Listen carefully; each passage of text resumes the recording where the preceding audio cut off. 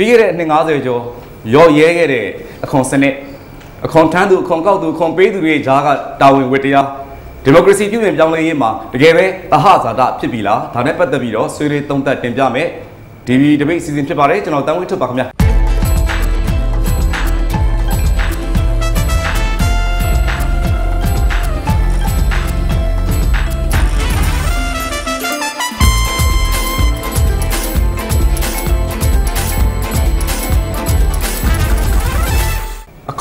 စနစ်အခွန်ကောက်သူခွန်ပေးသူတွေနဲ့မြန်မာပြည်ရဲ့ဒီမိုကရေစီပြုပြင်ပြောင်းလဲရေးအခြေအနေဒါနဲ့ပတ်သက်ပြီးတော့ဆွေးနွေးသုံးသပ်တင်ပြမှာဖြစ်ပါတယ်အခုဖိတ်ကြားထားသူတွေနဲ့မိတ်ဆက်ပေးကြပါတယ်ဆရာဦးသိန်းအောင်ပါဟုတ်ကဲ့ပြည်တွင်းခွန်ဦးစီးဌာနဒုညွန်ချုပ်ငိမ့်စားလည်းဖြစ်တယ်အခွန်ကောက်ခံမှုစီစစ်ကြမ်းမှတ်ရေးပုဂ္ဂိုလ်ဝင်လည်းဖြစ်ပါတယ်နောက်တစ်ခါဆရာဦးလောင်ပေါင်စီဝါရေးပညာရှင်ဆရာဦးလောင်ပေါင်လည်းဖြစ်ပါတယ်ပြီးတော့ဆရာဟိုကလောင်ရှင်ကောက်ချင်းပွားလည်းဖြစ်ပါတယ်အဲနောက်တစ်ခါဆရာဦးငွေသိန်းနော် ဒီကုမ္ပဏီလမ်းညွန်ဆရာဦးငွေသိန်းဖြစ်ပါတယ်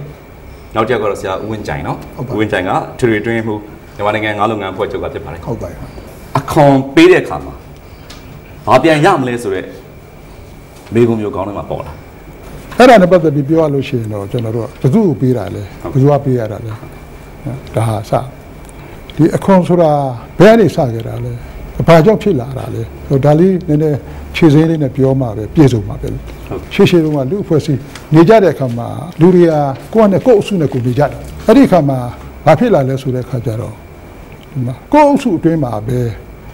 အဲခိုးဆိုးလူရက်တာတွေနောက်ပြီးတော့တခြားအဖွဲ့အစည်းတွေကလာပြီးတော့အဲတိုက်ခိုက်တာတွေတာရဲပြိဿံတွေတဘာဝဘေးရန်တွေအဲ့ဒါတွေနဲ့ကြုံတွေ့လာတဲ့အခါကျတော့ဖြီးဖြီးနေလို့မရတော့ဘူးအဖွဲ့အစည်းနဲ့ စနစ်ကြီးကတီထောင်ပြီးတော့မှတီဆောက်ပြီးတော့မှနေမှပဲတို့အသက်အိုးရင်စီစိန်ကိုနော်တို့အခါကွယ်ဖြစ်ရရောက်မယ်ဆိုပြီးအားလုံးညှိနှိုင်းတိုင်နေပြီးတော့သူအုပ်စုထဲမှာပဲယုံသေးတဲ့လူသူတို့ဥဆောင်နိုင်မဲ့လူလို့သူတို့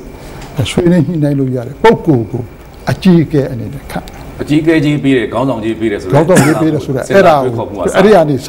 အဲ့ဒီအချိန်ကစပြီးတော့ဟုတ်ကဲ့ခုကတော့အခွန်ပေါ့လေဟုတ်ခိုးတော့ကတော့ဒါ contribution ပေါ့နော် အပြန်အလှန်ပေးသွင်းတဲ့ပေးဆက်တဲ့ဟာပေါ့အဲ့ဒီမှာကလေးကဘာပါလာလဲဆိုလို့ရှိရင်ကျွန်တော် social contract ပေါ့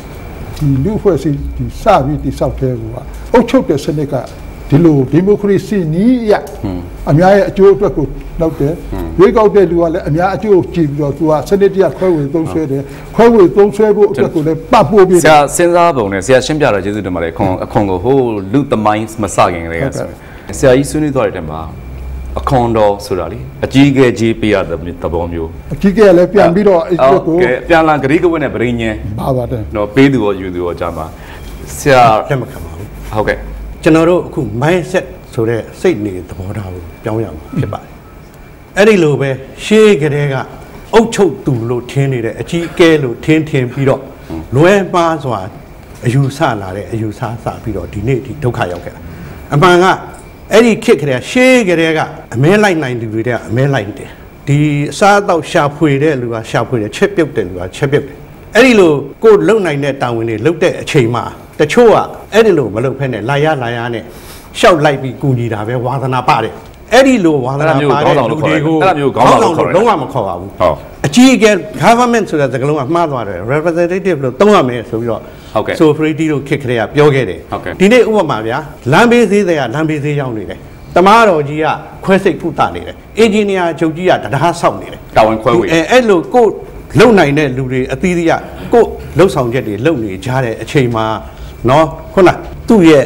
နေမှုထိုင်မှုစောင့်မှုတောင်းမှုတွေအစအစားလုံးအဆင်ပြေအောင်ဆိုဝါနာပါတဲ့နိုင်ငံရေးသမားတွေကခေါင်းဆောင်တက်လုပ်ပြီးတော့အဲအခုခေါင်းဆောင်လို့ခေါ်တယ်ဆရာဆိုလိုတဲ့လာရလာရကိုယ်စလဲကိုဒီထဲမှာဟိုဟိုအချို့သဘောတူလားမတူလားတော့ကျွန်တော်ပြောတာပဲတွတ်တော်အမတ်အမတ်တွေဆိုရင်နာဆရာစကားနားထောင်ရင်တမျိုးခံစားရမှာဒီခေတ်ကြတော့လွတ်တော့အမတ်တွေကခုနလိုတမိုင်းဥကလာရလာရလို့မဟုတ်တော့ဘူးသူတို့ကဝါသနာပါလို့နော်နိုင်ငံရေးလုပ်ခဲ့ပြီးတော့ သူ့ဝါသနာအလျောက်တက်ကျွမ်းတဲ့နေရာလေးကိုကျွန်တော်တို့ကနေပြီးတော့တို့ကိုယ်စားလှယ်အဖြစ်လုပ်ပါဆိုပြီးတော့မဲပေးပြီးတော့ခန့်ထားတာဆရာဦးငွေသိန်းမေးကြည့်ချင်ပါတယ်ကျွန်တော်တို့မှာပရိသတ်ခစ်ကလေးကဓာမိုးပြီးတော့အခွန်တောင်းခဲ့တာတွေတနတ်ထောက်ပြီးတော့အခွန်တောင်းခဲ့တာတွေ ਨੇ ရှင်ပြီးတော့စဉ်းစားမယ်ဆိုရင်ဆရာသဘောဘယ်လိုနေလဲအဓိကတော့ဗာလဲဆိုတော့တိုင်းပြည်ကနေပြီးအခွန်မျိုးစုံကောက်တယ်အဲ့ဒီကောက်တဲ့အခွန်တွေကပြည်သူတွေထင်သာမြင်သာဖြစ်အောင်တို့ဘယ်နေရာမှာတော့ဘယ်လိုသုံးပါတယ်ဆိုတာကိုပြဖို့လိုပါတယ်ဒီဆရာကြီးပြောတဲ့အ ပြန်အလှန်ဂရိကိုရဲ့ဗရိညင်ဆိုတာအဲရှိရမယ်လေမရှိချင်းသားခဲ့မြင်သားတယ်ချင်းသားမြင်သားမရှိခဲ့လို့တိုင်းပြည်အဲ့လိုဖြစ်ခဲ့တယ်သူတို့ကိုယ်တိုင်ကပိုင်ဆိုင်ပစ္စည်းတွေကိုကိုင်းချပြသလားဟုတ်မပြဘူးချိတ်ပိတ်ထားတယ်ဆိုပြီးတော့အိတ်နဲ့ပဲထိန်းထားတယ်အဲ့ဒါလည်းပဲအခွန်ချောင်းတာတူပဲဆိုလို့လဲဆရာသက်ဆိုင်တဲ့လူအားလုံးပါပဲဆရာထပ်ပြီးဖို့လည်းပြောအောင်ဘယ်သူရတွေခင်ပုဂ္ဂိုလ်တွေပါပဲရခင်ပုဂ္ဂိုလ်တွေရောအခုပုဂ္ဂိုလ်တွေရောဟုတ်ဒါကဘာလဲဆိုတော့ဇဝိုင်းပတ်တောင်းနေမှာမဆိုဟုတ်ကျွန်တော်ကဗာလဲဆိုတော့ဟုတ်ကဲ့ကျွန်တော်ဟိုနာမည်တော့မသုံးဘူးဟုတ်ကဲ့တဲ့ပဲပြောတယ်ကျွန်တော်လေဟောပြောပေးမှလည်းဒီတိုင်းပဲသုံးတယ်ဟုတ်ကဲ့ ရသရိုက်တဲ့အခွန်တွေကိုဘယ်သူစားသွားတော့ဘယ်သူပြသတော့သဘောကကိုတော့ကဆွေဒင်ဘန်မှာရွှေပေါင်ထားပြီးတော့မှငွေဆက်ကူထုတ်ရတယ်အဲ့ဒီရွှေတွေထုတ်သွားတယ်ထုတ်ပြီးတော့မှဗမာပြည်မှာငွေဆက်ကူစက်ရုံတဲတယ်ဟုတ်ကဲ့ပြည်သူတွေကိုဘယ်လောက်ထုတ်ပါရတော့သူထုတ်ပြရတာဟုတ်ကဲ့မကြီးညာဘူးအဲဟိုတလောကမှကျွန်တော်အဲ့ဒါရေးတော့မှသမ္မတဦးသိန်းတင်လက်ထက်မှာဘယ်လောက်ထုတ်ပါတယ်ဆိုတာကိုဂျန်နယ်ထဲမှာထည့်ပြလိုက်အဲ့တော့ဆရာရဲ့အဓိကဆိုလို့ရင်း point ရအဓိကပြောရရင်တော့ပွင့်လင်းမြင်သာမှုအဲကန်တော့ transparency Transparency အဲ့ဒါရှိဖို့လိုပါတယ်ဆရာကြီးဆွေးနွေးတဲ့အပြန်လန် ဗရိညင်အပြန်လန်ဂရိကိုဆိုရဲဆရာကြီးဆွေးနွေးတဲ့အကြီးအကဲချင်းမဟုတ်ဘူးအုပ်ချုပ်သူမဟုတ်ဘူးကိုယ်စားလှယ်ဆိုရက်အယူဆရယ်ဆရာဆွေးနွေးတဲ့ပွင့်လင်းမြင်သာဆိုတဲ့အယူဆရယ်အဲ့ဒီသုံးခုမှာဆရာထောက်ခံစရာကန့်ကွက်စရာရှိလားလူအဖွဲ့အစည်းတစ်ခုတိုင်းပြည်တစ်ခုပေါ့နော်တိုင်းပြည်တစ်ခုထူထောင်တည်ထောင်ပြီးရင်ကျွန်တော်တို့ကဒီတိုင်းပြည်ဖွံ့ဖြိုးတိုးတက်အောင်လုပ်ဖို့အတွက်ငွေလိုတာပေါ့ဟုတ်ကဲ့နော်အဲ့ဒီငွေအတွက်ကကျွန်တော်တို့ကအစိုးရကဥဆောင်ပြီးတော့စီးပွားရေးလုပ်ပြီးတော့ရှာတဲ့နည်းကတော့ ကဘာမှာမအောင်မြင်ဘူးရနော်အစိုးရလုပ်တဲ့သူကပြည်သူလူထုကိုလွတ်လွတ်လပ်လပ်လုပ်ပိုင်ခွင့်တွေပေးပြီးတော့အစိုးရကနေပြီးတော့ဒီတိုင်းပြည်ဖွံ့ဖြိုးတိုးတက်အောင်စီးပွားရေးလုပ်ငန်းကိုလုပ်ကင်တဲ့ပြည်သူလူထုစီကအခွန်အမျိုးမျိုးကောက်ပြီးတော့အဲ့ဒီအခွန်အနေနဲ့ဒီတိုင်းပြည်ကိုတိုးတက်ဖွံ့ဖြိုးအောင်ကျွန်တော်တို့ကဆောင်ရွက်ပေးရမယ်စနစ်မျိုးကဒါလုံလဲလုံတဲ့နဲ့အမှန်လဲအမှန်ဆုံးအခွန်ဆောင်ရတဲ့အခါမှာဒီဆောင်တဲ့အခွန်ကကျွန်တော်တို့အတွက်မျှတတဲ့ ဆောင်မှုစနစ်ဖြစ်ဖို့လိုတယ်တစ်ချက်ကဒါမှနှစ်အချက်ကကျွန်တော်တို့ထမ်းဆောင်ရတဲ့အခွန်ကြောင့်ကျွန်တော်တို့ကပြန်ပြီးတော့ဟိုအခွင့်အရေးပြန်ရတယ်ဆိုတော့စနစ်မျိုးထီအောင်တည်ထောင်ရင်ကျွန်တော်တို့ကအခွန်ပေးခြင်းစိတ်ပို့ပြီးတော့အဲ့မရှိဒီတာနှစ်ချက်မကိုက်ညီဘူးလားအဲ့ဒီနှစ်ချက်ကအခုချိန်ကြီးတော့မကိုက်ညီသေးဘူးလို့ပြောရမှာခွန်ပေးရတာမမျှတာဘူးအခွန်ပေးရတာမျှတတဲ့ စနစ်တွေအခုကျွန်တော်တို့စီမှာမရှိဘဲဖြစ်သေးဘူးပြန်ပြီးတော့ဝန်ဆောင်မှုပြန်ပြီးတော့ဟုတ်ဒီကဲ့အခွန်ထမ်းတဲ့သူအတွက်ကိုကျွန်တော်တို့ဟုတ်မက်လုံးသဘောမျိုးပေါ့နော်ဒီမိမိထမ်းဆောင်တဲ့အခွန်ကြောင့်ပြန်ရတဲ့အခွင့်အရေးဆိုတာကျွန်တော်တို့စီမှာလုံးဝမကြည့်ဘူးဟုတ်ကဲ့အခွန်ဆောင်လိုက်ရင်ဒီအခွန်ကလုံးဝပလုံသွားပြီးတော့ဟုတ်ကဲ့ကျွန်တော်တို့ဘာမလုံးမမီဒါကြောင့်လည်းအခွန်ရှောင်ကျင်ရတယ်ပေါ့နော်အဲ့ဒါအဲ့ဒီလိုဖြစ်နေတယ်ဟုတ်ကဲ့ပေးသူနဲ့ယူကြားကဂရိကဝဗရိညင်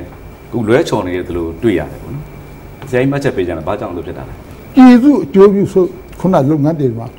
ဘလို့အကျိုးရှိရှိသုံးတယ်ကျွန်တော်တို့ဒါအလေအလွတ်မရှိဘဲနဲ့เนาะအပြည့်အဝအကျိုးရှိအောင်ဘယ်နေရာတွေမှာသုံးပွားတယ်ဆိုတဲ့ဟာကိုတော့ transparency ပေါ့နော်ပွင့်လင်းမြန်သာအောင် ဟုတ်ကဲ့ เนาะဒါတွေကိုလုပ်လိုက်လို့ရမယ်เนาะ အခု လုပ်အဲ့ဒါရဲ့ ကျွန်တော် transparency အဓိကဆိုတော့ဆရာဘာမှားနေတာလဲဆရာ ကျွန်တော်ပြောပြချင်တာကတော့ပထမဆုံးစောစောကပြောခဲ့သလိုအခွန်ဆိုတာဘာလဲဆိုတာကိုပြည်သူတရားလုံးသိဖို့လိုရတယ် ဟုတ်ကဲ့ အခွန်အတုတ်ဆိုတဲ့ ဘောဟာရရဲ့အထိပ္ပယ်ကိုကနိုင်ငံတော်အစိုးရအတွက်ဘန္တာငွေရရှိရေးကောက်ခံသောငွေကြေးဖြစ်ပါတယ်ပြည်သူအစိုးရသည်ပြည်သူတွေစီကိုအခွန်ကောက်တဲ့နေရာမှာပြည်သူတွေသိအောင် ပြည်သူတွေနဲ့တသားတည်းဖြစ်အောင်เนาะပွင့်ပွင့်လင်းလင်းနဲ့ကောက်ခံရသလိုအရင်တုန်းကမှားယွင်းရခြင်းအကြောင်းသည်နှစ်နှစ်ပိုင်းရှိပါတယ်။တစ်ပိုင်းကအခွန်ဆောင် တဲ့နဲ့ပြည်သူနဲ့အခွန်မရှောင်တဲ့အောင်အစိုးရဘက်ကဝန်ထမ်းတွေကနေလုပ်ပေးရမှာဖြစ်ပါတယ်။တစ်ဖက်ကပြည်သူတွေကိုကအခွန်မရှောင်မဲနဲ့အခွန်ဆောင်ခြင်းရအောင်လုပ်ပေးရမှာဖြစ်ပါတယ်။အရင်ကဆက်ဆက်နှစ်ခုဆိုတော့လုံးဝန်ထမှားမ်းပါတွေတယ်ဘက်မှာအားနေချက်တွေရှိခဲ့တယ်နှစ်ခုစလုံးအားနေပါတယ်ဘာလို့လဲဆိုတော့ပထမအစိုးရဘိုင်းကအခွန်ကောက်တာပြည်သူတွေစီကအခွန်ဆောင်ခြင်းအောင်မကောက်ဖဲနဲ့ ဒါပွင့်ပွင့်လင်းလင်းပြောတာပါကျွန်တော်တို့ကိုယ်တွေ့ပါအိမ်ကိုလာပြီးတော့ဟောဒီကာရောင်းတာဟောဒီလောက်နဲ့လျှော့ပြီးကောက်ဥပမာเนาะအခွန်ဆောင်ရမှာက3သိန်းသူကကျွန်တော်တသိန်းခွဲနဲ့ရအောင်လုပ်ပေးမယ် ညှိပေးမယ် အဲလုပ်ပေးမယ်เนาะအဲ့တော့ကျွန်တော်ကိုတသိမ်းပေးပါဆိုတာမျိုးတွေအဲအဲ့ဒီလိုအခွန်ကောက်တဲ့ဘိုင်းကခြုံယွင်းချက်အဲ့ဒီလိုလုပ်တော့ပြည်သူတွေကအကျင့်ပါသွားပြီ အဲ့ဒါလဲနောက်ပိုင်းမှာတတ်သွားတဲ့အတတ်ပါပဲအဲ့တော့အခွန်ရှောင်ရမှန်းသိသွားပြီရှောင်ရမှန်းသိတော့မဆောင်ကျင်တော့ပေါ့မဆောင်ကျင်တော့ဘာလုပ်လဲဆိုကြားဘူးမှာပါเนาะကုမ္ပဏီတွေလုပ်ငန်းရှင်တွေ၄မျိုးငွေစည်ရင်၄မျိုးပြုစုပါတယ် နော်တစ်မျိုးကဒီတထေးကိုယ်တိုင်တကယ်ဝင်ငွေထွက်ငွေကိုသိတဲ့စရင်မျိုး အဲကျွဲ နောက်တစ်မျိုးကအဲ့ဒီတထေးနဲ့အဲ့ဒီစရင်ခိုင်နဲ့ဒါလင်းသိတဲ့ နော်လူတို့ပူလျှော့လုတ်တဲ့ခွန်တစ်မျိုးအဲနောက်တစ်မျိုးကတော့အစိုးရကိုတရားဝင်တင်ပြတဲ့အခွန်တစ်မျိုးအရှုံးပြဖို့အဲတရားဝင်တင်တယ်ဆိုတာကခုနလိုရှော့ပြီးတော့ရှော့ပြီးတော့ပြတယ်တစ်မျိုးနောက်တစ်မျိုးကတော့ surprise check ဝင်လာရင်ရုပ်တရက်ပြနိုင်မှုတစ်မျိုးဒီငွေစရင်ဂိုင်တွေခန့်တာကအခွန်လေးမျိုးလုတ်တအောင်သင်ပြီးလုတ်ခဲ့တဲ့စနစ်ကြီးကြောင့်နိုင်ငံတော်ကလည်းရတဲ့လောက်မရဘူးပြည်သူတွေကလည်းဆောင်တင်တာကိုမဆောင်ဘူးအဲ့တော့ပြည်သူတွေမှာလည်း ငွေမဲတွေဖြစ်နေတယ်ဟွန်းအခွန်တော်ကိစ္စပေးသူတွေယူသူတွေနဲ့ဒီမိုကရေစီပြုပြင်ပြောင်းလဲရေးအခြေအနေကိုဆက်ဆက်ပြီးတော့စဉ်းစားကြည့်တဲ့အခါမှာဒီအခွန်အခြေအနေနဲ့ပတ်သက်တဲ့ဗီဒီယိုသတင်းပေးပို့ချက်လေးတစ်ခုကြည့်ရအောင်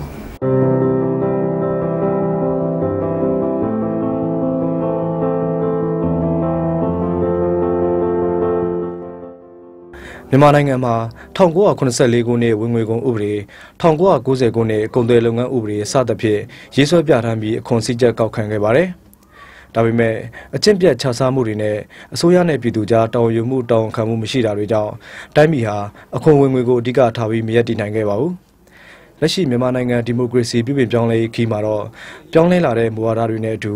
ရှေ့ကိုအင်အားအပြည့်နဲ့တွားနိုင်ဖို့အခွန်စနစ်တရက်လည်းပြပြပြပြလိုအပ်လာပါတယ်။လူတိုင်းအခွန်ပေးရမှာပဲ လူကွန်ရစနောက်ဆုံးအင်ကန်ခွန်ပါဆိုနော်ဒါပေမဲ့အခွန်ကောက်တာနဲ့အတူဘာလုပ်ပေးရမလဲဆိုတော့အားလဲတခါလဲပါလာ responsibility တခါလဲပါလာအဲ့ဒီသဘောတရားကိုဒီလူတွေနားလဲအောင်ဒီစီးပွားရေးလုပ်ငန်းရှင်တွေနားလဲအောင်တိုင်းသူပြည်သားတွေအားလုံးနားလဲအောင်ဆိုရတယ်ပြန်ပြောပေးရမှာပြန်လုပ်ပေးရမှာအဲ့ဒီနှစ်ခုကြားမှာတော့စိန်ခေါ်မှုတွေရှိနိုင်တယ် 2012ခုနှစ်ဧပြီလတရက်နေ့ကစတင်ပြီးအစိုးရအသစ်အနေနဲ့အခွန်ကိုရခိုင်တပ်ပုံမှုစည်းကြပ်ကောက်ခံခဲ့ရကနေ2012-13ဘဏ္ဍာနှစ်မှာငွေကျပ်ဘီလီယံပေါင်း1300လောက်ရရှိခဲ့ပါတယ်။ဒါဟာသူ့ရဲ့နှစ်ထက်နှစ်ဆကျော်အခွန်ဘဏ္ဍာငွေရရှိခဲ့တာဖြစ်ပါတယ်။2014ခုနှစ်မတ်လမှာတော့အခွန်စနစ်ဥပဒေတရက်ကိုလွှတ်တော်ကအသစ်ပြန်လည်ရေးဆွဲခဲ့ပြီးရေးဆွဲလိုက်တဲ့ဝင်ငွေကုန်ဥပဒေအရ